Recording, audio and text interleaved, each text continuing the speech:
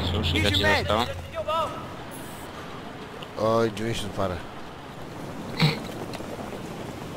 Czerwony. Radek, kurde!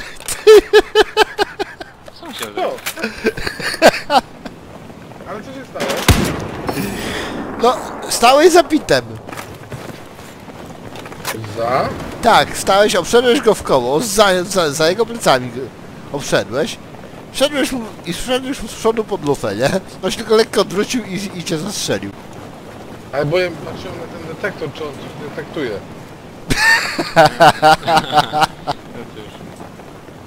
I tak patrzyłem, kiedy on zadziała, znaczy nie, nie widziałem Pita, ale ten... To było śmieszne, naprawdę, stary, kurde. Domyślam się, bo to...